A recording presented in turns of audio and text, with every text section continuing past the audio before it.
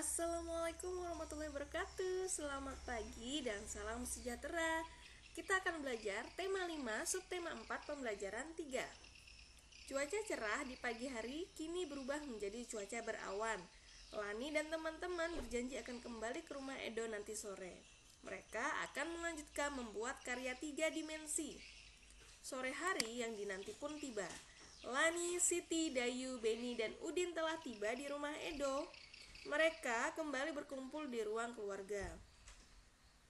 Edo sudah menyiapkan kain lagi untuk digunting dan dipotong. Nah, ini kemarin mereka melanjutkan yang kemarin ya. Nah, ayo mencoba. Mula-mula Edo menggunting kain berbentuk persegi panjang dan membaginya menjadi enam bagian. Nah, potongan kain pertama ini ya 6 per 6 kurang 1 per 6 jadi sisanya 5 per 6 lalu potongan kain kedua 5 per 6 lagi ya sisanya tadi ya baru dikurang lagi 1 per 6 maka sisanya adalah 4 per 6 jadi 5 kurang 1 hmm, 4 Edo membaginya menjadi enam bagian untuk mereka berenam. Masing-masing mendapatkan satu per enam bagian kain berbentuk persegi panjang. Sekarang Edo menggunting kain yang lain menjadi 8 bagian berbentuk segitiga. Potongan kain ini akan diberikan untuk Beni dan Udin. Masing-masing akan mendapatkan 3 per 8 bagian kain.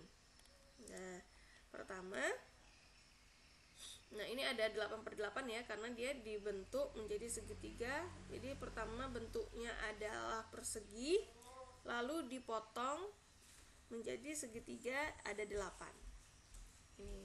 Lalu dia berikan kepada siapa? Itu pertama kepada Beni dulu tiga bagian.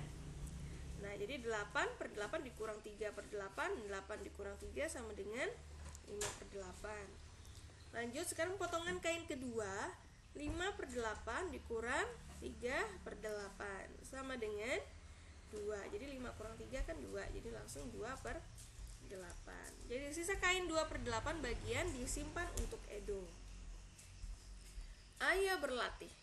Apakah kamu masih ingat cara mengurangkan pecahan berpenyebut sama? Perhatikan kembali cara Edo memotong kain dan membaginya kepada teman-teman. Lakukan pengurangan pecahan berpenyebut sama untuk soal-soal berikut. Isilah jawaban pada tempat yang tersedia. Beri warna pada gambar sesuai dengan jawabanmu. Nah, yang pertama ada 3 per 3 dikurang 1 per 3 3 kurang 1 sama dengan 2 jadi ini pernya tetap ya. Jadi 2 per 3 kita warnain yang mana? Yang ini boleh yang ini aja misalnya ya. Ini 2 gitu. Selanjutnya 7 per 7 dikurangi 6 per 7 nah 7 dikurang 6 1 jadi 1 per 7 di sini ya Nah ini kita warnain satu aja terserah pilih yang mana. Oh di sini aja misalnya gitu. Selanjutnya ada 7 per 9 dikurang 4 per 9 7 dikurang 4 3 per 9 Jadi tiga aja yang kita warnain di sini. Yang mana boleh terserah aja. Pilih di mana. Satu misalnya dua tiga nah itu Selanjutnya ada 4 per 11 dikurang 3 per 11 4 dikurang 3 sama dengan 1 Jadi 1 per 11 Satunya kita warnain di mana? Terserah juga mau di, uh, diwarnain yang mana. Di sini misalnya. Gitu. Gampang bukan? Nah, lalu ayo berdiskusi Edo dan teman-teman telah selesai menyiapkan kain sambil beristirahat sejenak mereka berbincang tentang kedatangan Pak Tono. Mereka mengingat kembali informasi tentang cuaca, musim, dan iklim yang telah mereka dapatkan. Informasi ini akan mereka sampaikan esok saat berjumpa dengan Pak Tono. Berikut percakapan mereka. Dayu, saya masih ingat informasi tentang musim dan iklim. Informasi ini saya baca dari buku di perpustakaan. Siti, apa isi informasi itu? Dayu, isinya tentang letak Indonesia di garis katulistiwa, juga tentang pengaruh iklim di Indonesia. Ada juga informasi tentang musim kemarau dan musim hujan. Benny, iya, betul. Informasi yang saya baca tentang waktu terjadinya musim kemarau dan musim hujan. Siti, saya masih ingat informasi dari Udin. Informasinya berisi tentang perbedaan cuaca dan iklim. Udin, Betul Siti, informasi itu juga menceritakan perubahan cuaca di sebuah kota. Lani, sepertinya kita sudah siap bertemu dengan Pak Tono. Edo, apakah kamu punya informasi untuk diceritakan? Edo, tentu saja. Nanti kita bercerita di depan Pak Tono ya. Informasi apa yang kamu peroleh tentang cuaca, musim, dan iklim? Ceritakanlah di hadapan teman-temanmu lakukan secara bergiliran. Ayo berkreasi. Edo dan teman-teman sudah memegang potongan bagian kain masing-masing. Ibu Edo lalu mengingatkan kembali cara menjahit potongan kain tersebut dengan teknik feston. Perhatikan langkah-langkah berikut ini. Langkah pertama, cara menusukkan jarum pada kain. Nah, ini ya, seperti ini. Nah, menusukkannya ya. Lalu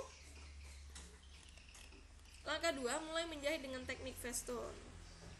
Nah, seperti ini. Lalu langkah ketiga, jahitlah seluruh pinggiran kain. Jadi sampai seperti ini. Yang mengelilingi ya, mengelilingi kainnya.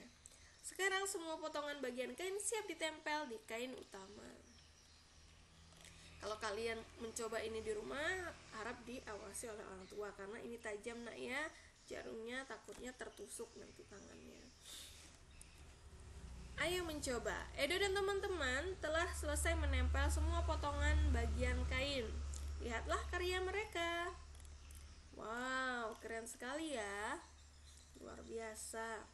Cobalah untuk membuat sebuah karya bersama teman-temanmu. Mintalah bantuan orang dewasa jika membutuhkan bantuan nah kayak seperti ini nak ya uh, ini kayak bisa pakai kain flanel kayak gitu kan biasanya kain uh, kain flanel itu mudah dibentuk seperti ini jadi tidak terlalu letoy jadi kalau dan warnanya banyak kalau kain flanel oke tapi untuk kali ini kita tidak perlu membuat ini ya uh, jadi cukup kalian tahu teorinya saja Ya, sampai di sini dulu perjumpaan kita hari ini. Semoga bisa membantu pembelajarannya dan siap-siaplah ibu akan telepon ya.